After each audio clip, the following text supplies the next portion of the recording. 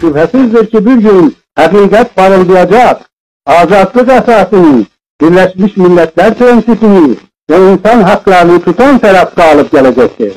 Bu galibiyet güneşi, Kızıl İstiklal zulmü altında inleyen aziz vatanımızda 1918-28 Mayıs günü yeniden doğacaktır. Buna katiyen şüphe etmeyiniz vatandaşlar.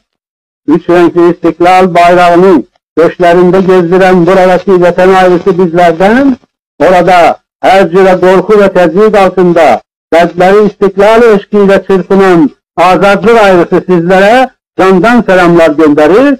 28 Mayıs istiklal kurbanlarının aziz ruhları huzurunda hürmetle eğilir ve her iki tarafı birleştiren milli böyük hasreti şairin beytiyle dile getiririm.